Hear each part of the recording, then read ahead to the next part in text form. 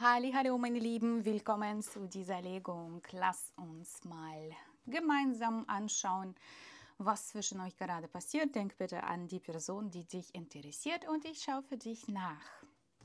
Ja, heute so eine Blume und ich dachte mir, okay, er hat sich über Nacht transformiert und wurde fast wie ein Zombie. Ja, und da ich heute mich für die neuen Karten entschieden habe und das ist ähm, Zombie Tarot, dachte ich mir, das passt doch, ja.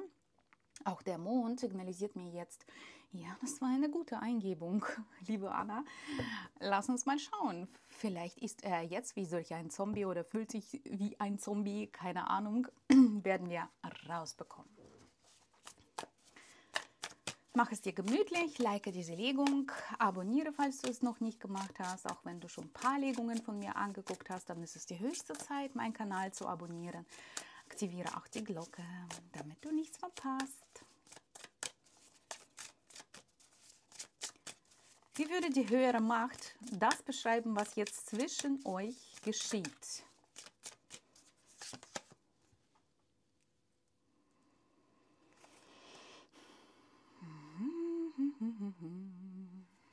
Sechs der Münzen. Wir schauen weiter.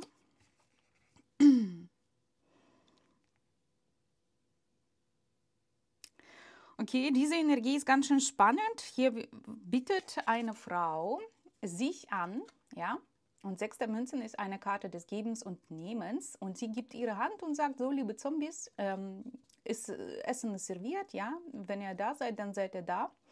Und ähm, eventuell schmecke ich gut. ja, ein bisschen makaber, aber das ist alles hier sehr ähm, humorvoll hier gemeint. So, eine Energie. Wer bietet zu viel an? Jemand bietet hier zu viel an. Da muss man sich fragen, wieso bittet man etwas an, was eventuell zu viel ist. Ja, einfach mal zum Nachdenken. Vielleicht wird es irgendwelche Gedanken in dir wecken. Nicht, dass man dann auch irgendwo überrascht wird von dem, was kommt. Ja, vielleicht äh, gibt es dann wie so einen Urknall und dann gibt es eine Riesenparty und dann gibt es ähm, etwas Unerwartetes, hm, eventuell aber auch dennoch Gewolltes. Ich rede heute ein bisschen geheimnisvoll. Ich möchte mal ein bisschen Klartext. Noch mehr Klartext. Na gut, sagen wir mal so.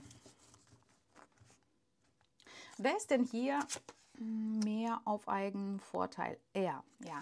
Okay, hm, ich würde sagen, er hat schon seine hm, Vorteile. Du eventuell sogar auch oder es geht nun mal um sich, weil du in seinen Augen eine wertvolle Person bist, weil es nun mal hm, es Zustände gibt, wo der Mann sich ganz gut überlegt, okay, ähm, wie gehe ich denn vor? Ja, hier kommt der Magier und der König der Schwerter zeigt sich, vielleicht ist er auch ein Luftzeichen, ähm, Waage, Wassermann oder Zwillinge. Ähm, das könnte hier sein. Oder dieser Mann ist einfach mal jetzt mehr rational unterwegs, besonders bei dem Magier ich gucke mal gleich, ist das hier mehr in Richtung positiv oder negativ. Also ich denke, mm, das ist tatsächlich wie so eine Haltung, wo ganz viel mental kontrolliert wird. Bloß nicht ähm, Emotionen regieren lassen, sondern ganz nüchtern überlegen, was unternehme ich als nächstes, wie handle ich, was sage ich. Ja, es geht hier um normalen und auch klaren Menschenverstand seinerseits. Was könnte hier noch für ein Thema sein? Wenn du dich fragst, okay, äh, in welcher Energie ist er jetzt? Er ist sehr sortiert, er ist strukturiert, er ist vielleicht sogar diszipliniert. Ja, bloß nicht jetzt in Hektik geraten und irgendwas von sich geben, was er vielleicht sogar bereuen würde. Also auf jeden Fall der Magier in diesem Deck erzählt auch davon, ja, an sich habe ich all das, was ich brauche an meinen Ressourcen. Ich kann selbst auch Dinge bewegen, Dinge kreieren, ja, und ich mh, mm, bin in der Lage, an sich zu gestalten, aber ich möchte auch Gewinn haben. Ja? Ich möchte etwas Gutes bekommen. etwas Wertvolles. Vielleicht ist er hier auf Juwelen aus. Ne? So, ein, so ein Juwel möchte ich bekommen. Vielleicht du, ja, wie so eine Perle, wie so ein Juwel, wie so ein Diamant. Okay, ich habe gefragt, was für ein Thema? Angst vor Unzulänglichkeit. Ja, kann sein, dass er Angst hat, dass du ihn ablehnst. Ja, ganz klar und einfach gesprochen, wie die Karten selbst für sich erzählen. Das ist nun mal eben ähm, dieser Kontext. Risiko. Ja, das ist ein Risiko.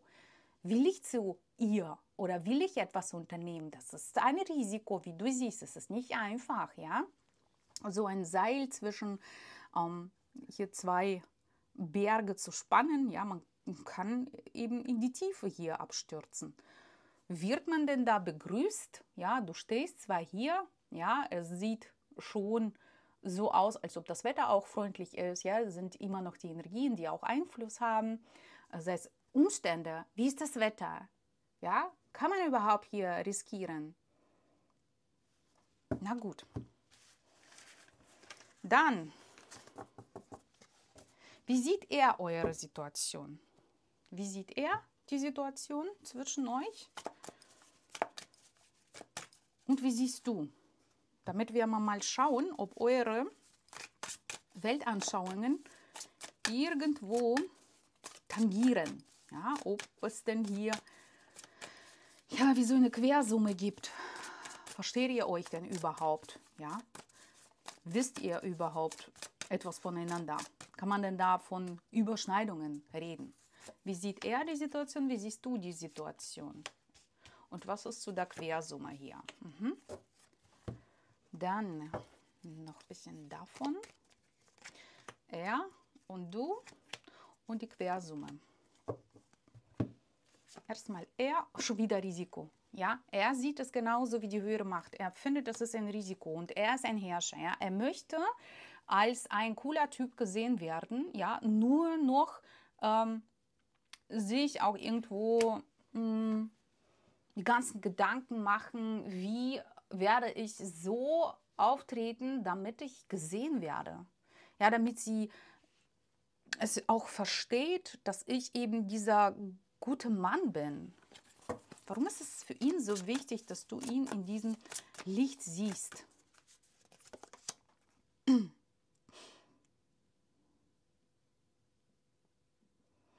Sich absichern auch. Sich absichern, das ist wie so eine Kontrollsucht, das ist wie, ich möchte nicht ähm, verlieren, auf gar keinen Fall. Ein Herrscher möchte auf gar keinen Fall verlieren. Vielleicht auch so ein kindisches Verhalten, auch irgendwo so ein kindisches Interesse, ja. Mm, das Kind hier kann sich nicht um sich selbst selbst kümmern, ja, und ist auch auf Hilfe von außen angewiesen und möchte umsorgt werden. Ich bin hier, siehst du mich, ich habe Hunger, ich habe Durst, ja, kümmert sich um mich. Gib mir irgendeine Spritze, ja, irgendeine Medizin. Gib mir deine Hand. Gib mir deine Hand, gib mir deinen Arm. Okay, ich denke, das spricht schon Bände. Ah, jetzt du, sich ungewohnt fühlen. Vielleicht fühlst du dich ungewollt, ne? durch so sein Verhalten. Es könnte sein, ja, der Typ versucht so gut wie möglich vor dir aufzutreten, eventuell ist es nicht einfach für ihn, ja. Vielleicht ist es nun mal so seine Welt, dass er, sei es nie abgelehnt wurde oder er ist nun mal so einer, der sowas von selbstbewusst ist und selbstsicher, ja, so dass er das nicht mal sich vorstellen kann, so, so dass er da irgendwas riskiert und dass es sei es um sein Ego geht, ja, so dass er da Verletzungen erleidet oder dass es ihm nicht gut geht nach einer seit diesen gewissen Ablehnung.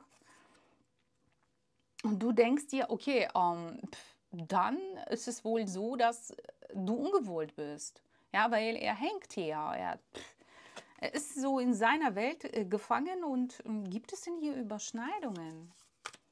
Ich denke schon, weil ähm, das eine bewirkt das andere und auch umgekehrt. Ja, hier gibt es nun mal Aktion, Reaktion.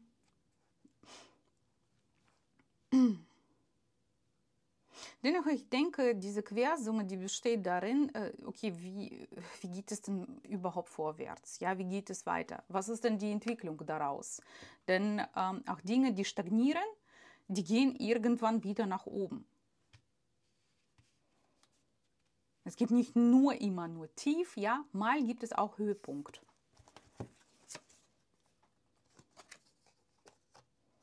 Zwiespaltigkeit, total, total ist das eine Zwiespaltigkeit, ja. Und hier äh, birgt ähm, diese Karte auch solch eine Gefahr, weil wie du hier siehst, hier sitzen zwei äh, auf so einem Friedhof und ähm, beweinen, ja, und trauern. Und die Aussage von dieser Karte ist, ähm, verbleib nicht zu lange in so einer Energie, weil es könnte für dich gefährlich werden. Guck mal, da sind schon die Zombies, ja, die haben die beiden schon anvisiert. Und je länger die dort verbleiben, desto gefährlicher wird es für diese beiden Menschen. Okay? Ja, Zwiespaltigkeit hin und her, aber dennoch muss man da auch an sich denken. Er denkt schon an sich. Da brauchst du dir gar keine Gedanken zu machen. Jetzt geht es nur noch eventuell auch um sich. Ja? Was würde die höhere Macht dir empfehlen in dieser Situation? Das ist auf jeden Fall auch ein riskantes Spiel, nicht nur für ihn, sondern auch für dich. Risiko für beide. Ja, Risiko für beide. Auch selbst Angst vor Unzulänglichkeit oder einfach mal das Gefühl, ungewohnt zu sein, ähm, auch nicht verstehen können, wieso handelt die Person so, wie die handelt. Ja, man kann das äh, analysieren, solange man will, ja, aber die Zombies, die sind ja fast schon da. Okay? Sogar die Blume hat sich schon verwandelt. so, und hier ist es wie so ein riskantes Spiel. Ja, sagt sogar die höhere Macht. Und was kommt denn hier raus? Ängste, die sind trotzdem dabei. Ja? Da, wo die Ängste sind, dort sind die Potenziale. Erforscht eure Ängste.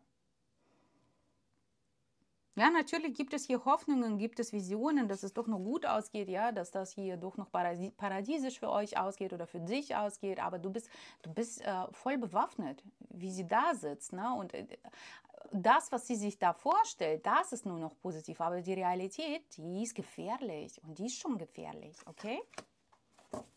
Welche Gefahr ist das? Gibt es hier tatsächlich Gefahr für dich?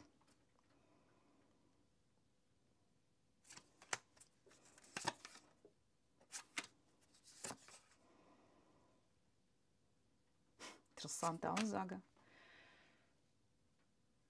Gibt es hier Gefahr für dich? Ich weiß nicht, ich sage es einfach, wie es kommt. Ich muss nicht alles hier interpretieren, das kannst du selbst für dich überlegen, wie das so gemeint ist von den Karten.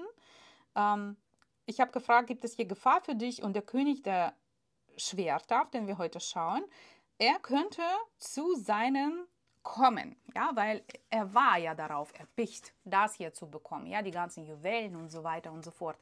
Und das ist ja wie eine so eine gute Energie, ja, wo dann zwei doch noch zueinander finden. Ähm, sei es auch, man ist zu unterschiedlich, ja, hier wird ähm, das hier verspeist und hier eine normale Mahlzeit, aber trotzdem sitzen die am Tisch, ja, und das ist immer noch zwei der Kelche an sich. In einem anderen Deck eine ganz, ganz interessante Energie, ja, wie, wie so eine ähm, Zweisamkeit, ja, wo zwei äh, eventuell auch einen Dialog führen. Und ich würde sogar sagen, so dass man hier auch diese Zwiespaltigkeit durch Ausgleichen äh, von Unterschieden ähm, beseitigen kann. Kannst du aufschreiben. Unterschiede ausgleichen. Oder wie, wie gleicht man die aus? Man lässt sie einfach zu. Es ist nun mal gegeben, ja. Einer ist von so einer Art und du bist von einer anderen Art. Das ist ja sowieso Gegebenheit. Wir können uns überlegen, ach, das heißt, wir können die Menschen formen. Mm, wir können vielleicht da etwas verändern, hier verändern, aber dann verändern wir schon die Person. Ja? Und wie hat dir diese Person gefallen? Weshalb guckst du auf äh, diese Karten hier heute, ja, weil dir diese Person irgendwie gefällt. Und da, wo wir anfangen, andere zu verändern, dann sind wir mit dem anderen nicht wirklich zufrieden. Ja, dann sollen wir uns selbst fragen, was habe ich denn für ein Problem? Ja, wieso möchte ich andere verändern?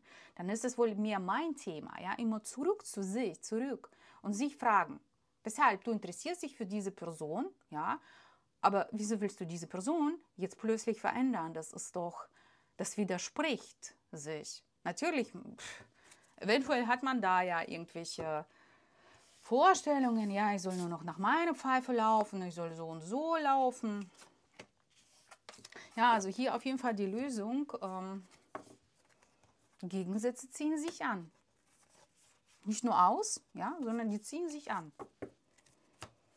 Und das soll man einfach annehmen. Das sind nun mal eben zwei unterschiedliche Welten, zwei unterschiedlichen Seelen.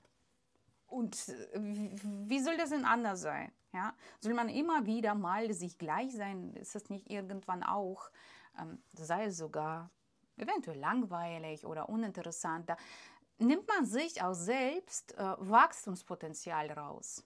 Denn überall, wo wir sehen, ah, da eckt äh, etwas an, ja, da ist etwas, da ist irgendein Konflikt hier oder das und das, passt nicht. Das ist ja immer wieder wie so eine Herausforderung ähm, von einer höheren Macht, um zu überlegen, mal, okay, wie komme ich damit klar? Denn unser Leben besteht ja nun mal fast schon ständig aus solchen Entscheidungen, solchen Überlegungen. Und da, wo wir denken, wir können unser Leben einfach mal ganz, ganz, ganz, ganz ohne zu überlegen leben, ja, ohne uns äh, immer wieder mal zu entscheiden leben, ohne uns irgendwo auch ja, anzupassen, leben. Das könnte schwierig sein. Vielleicht sogar mal schwieriger, als es sein könnte. Ja, man muss sich das Leben nicht noch schwerer machen. Denn es wird, ich habe so das Gefühl, als ob hier versucht wird, etwas hm, wie so etwas Illusorisches, wie etwas, was man nicht wirklich fassen kann, zu verändern. Man weiß vielleicht nicht zu 100 Prozent, was will ich denn überhaupt verändern. Vielleicht muss man da gar nichts verändern. Ja, das ist wie so, mein Kopf entscheidet, meine Erfahrung entscheidet, meine Ängste entscheiden. Ich werde von dem äh, geführt, äh, was meine Ängste mir sagen. Es ist gefährlich, es könnte ein Risiko sein, du könntest abstürzen. Oder für dich, ja, vielleicht bist du gar ungewohnt. Ja, aber diese Person hatte sich auch für dich interessiert oder interessiert sich immer noch für dich. Interessiert er denn sich für dich?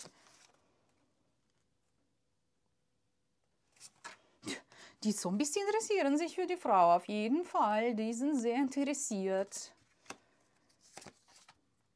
Die Sonne steht meistens für Ja. Also das ist ja auch wie so eine Ja-Karte. Aber dennoch mit so einem Beigeschmack, Hauptsache es geht mir gut, weißt du? Äh, weil die entfliehen hier in so einem Helikopter und die Stadt wird überfallen. Ja, und denen geht es ja gut. Okay, die denken ja gut an sich. Ich meine, selbstbewusst ist es auf jeden Fall. Hm.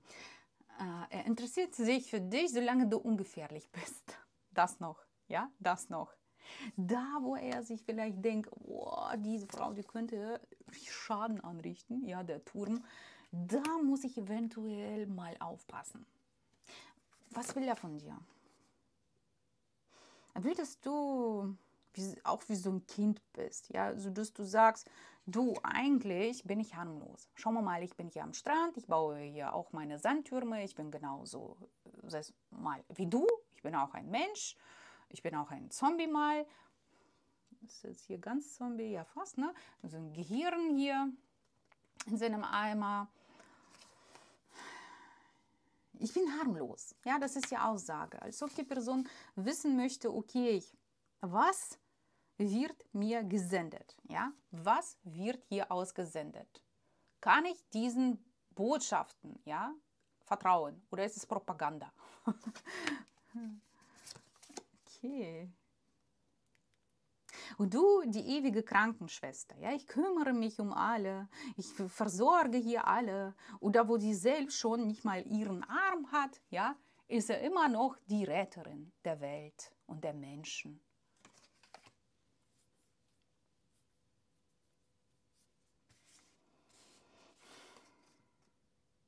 Das auf jeden Fall ähm, ist wie so eine auch Aussage, ja, an sich wäre es schön, wenn sie mir zuhören würde. Ja, irgendwo möchte man sich auch zeigen, aber sich zeigen heißt auch gleichzeitig sich verletzbar machen. Naja, so ist der Preis eben. Das wissen wir doch. Wer nicht riskiert, der trinkt kein Champagner.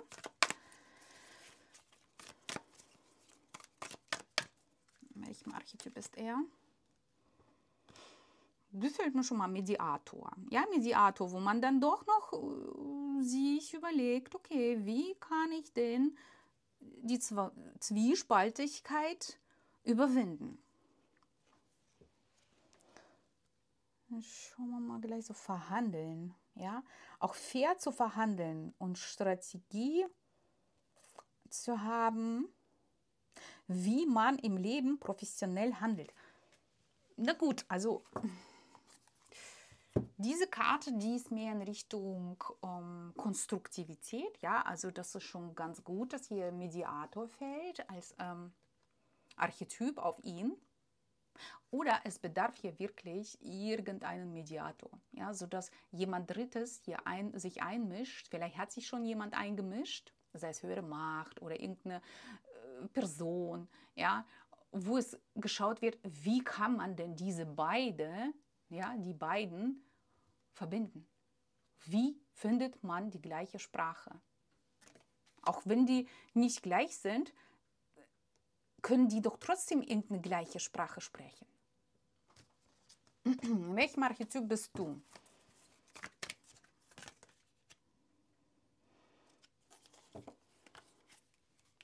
Shapeshifter.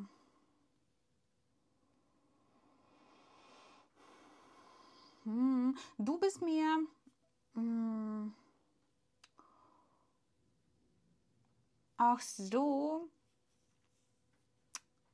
getrimmt, dass du schaust, okay, ich sehe da und da Potenziale und ich versuche das Beste daraus zu machen. Das ist mir so die hohe Ebene, würde ich sogar sagen, so dass du von oben guckst. Ja, dich interessieren vielleicht diese ganzen Gefahren nicht, die wir gesehen haben, dies und das und diese Ängste, sondern du schaust mehr von oben und siehst irgendwo Potenziale. Ja, und das muss nicht heißen, dass du alles Negatives ausblendest. Das muss nicht sein oder Positives nicht siehst, denn da besteht ja eben diese Kunst, damit etwas mh, hm, eben verschoben wird, ja, damit es eine andere Gestalt gibt.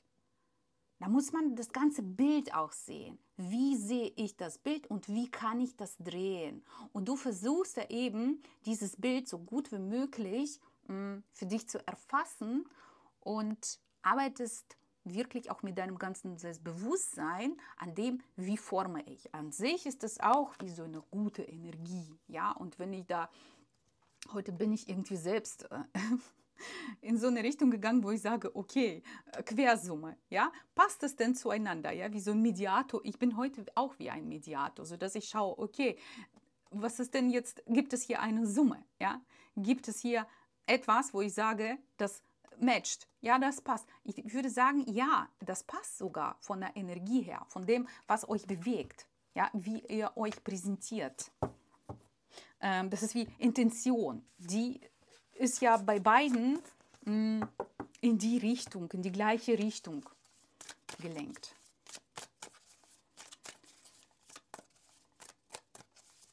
Wir stellen uns jetzt mal vor, es gäbe so diesen gewissen Mediator zwischen euch. Aber was wäre das Optimalste für euch beide, was dieser Mediator oder Mediatorin euch ans Herz legen kann. Wie würde die Person oder die höhere Macht vorgehen? Hier, bitteschön. Dinner for two. Einmal Zombie-Menü, einmal ohne Fleisch. Na doch mit Fleisch, aber sieht noch, sieht noch gesünder hier aus. Hier gibt es Gehirnessen, ja, Gehirnessen. Ja, an sich Dialog. Das ist ein Dialog. Diese Karte haben wir auch gesehen davor.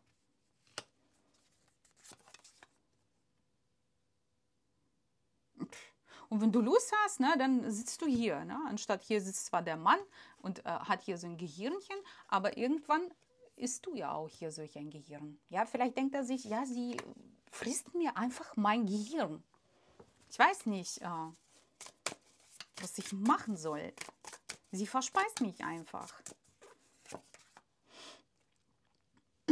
Es sind so viele Gefühle da. Ja, auch äh, Sadness musste ich sofort sehen. Ja, so Sadness, so Traurigkeit, so viel und schon wieder Gehirn. Ja, ganz viel los, ganz viel, auch emotionaler Natur, nicht nur Gedanken, auch ganz viele Emotionen, auch vielleicht irgendwo Hass und Liebe und auch pff, ja so verärgert sein und auch Hunger. Ja, und auch mh, mm, irgendwie so eine Art wie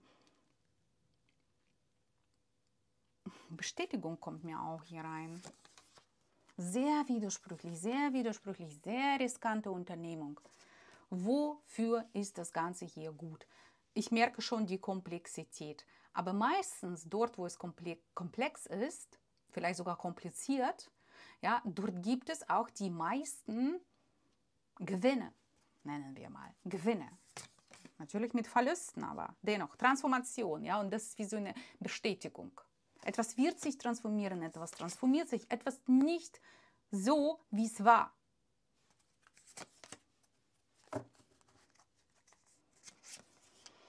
Und es gibt hier eben auch die Chance zu entfliehen, ja, so aus diesen Konflikten zu entfliehen, aus dem zu entfliehen, was uns auch ähm, zerreißt, was für uns gefährlich werden kann. Hier zum Beispiel zwei Zombies, ne, die wollen sein, seine Hand hier haben, ne, seinen Arm. Und äh, die Person hat jetzt Zeit, um abzuhauen. Ja, wäre doch günstig eventuell für die Person, wenn die es schafft. Ja? Und es ist wie so eine Art, äh, es ist wie so eine Chance zu entfliehen. Von dem zu viel zu entfliehen durch die Veränderung zum Besseren. Ja, das ist die Zehn der Kelche. Hier sitzen die beiden, ne? nicht nur hier gibt es noch Kinder, ja, und da hinten, da gibt es eben irgendeine grausame Geschichte. Ja, aber das ist ein bisschen weiter entfernt. Die sind immer noch hier. Die sind im Trockenen, alles ist gut.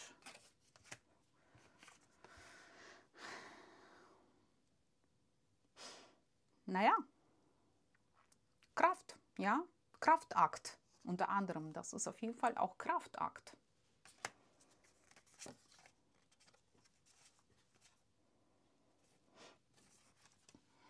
damit es eventuell das hier auch gibt.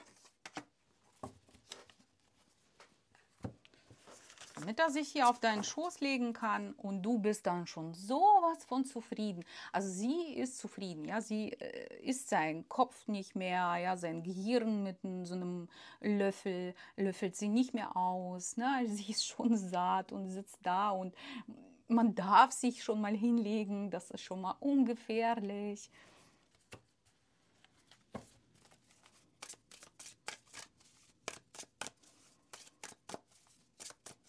Was möchte er von dir in dieser Situation?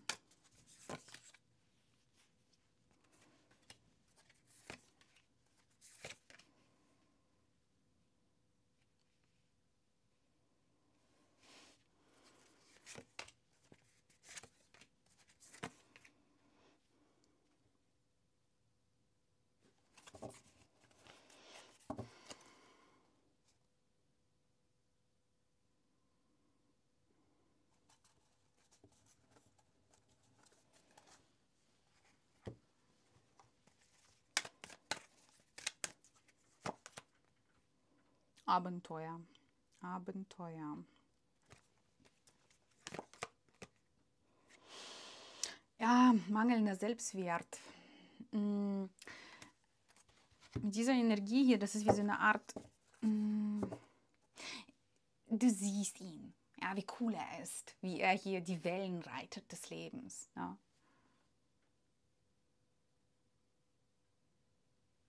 Ein Verführer. Ich bin da, ich bin ein Verführer.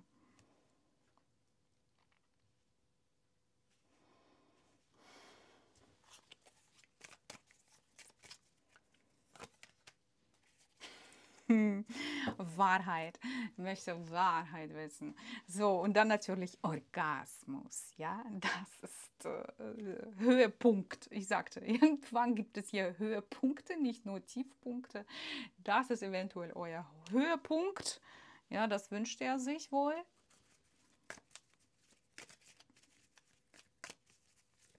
Und dass du auch die Waffen niederlegst. Das haben wir auch gesehen.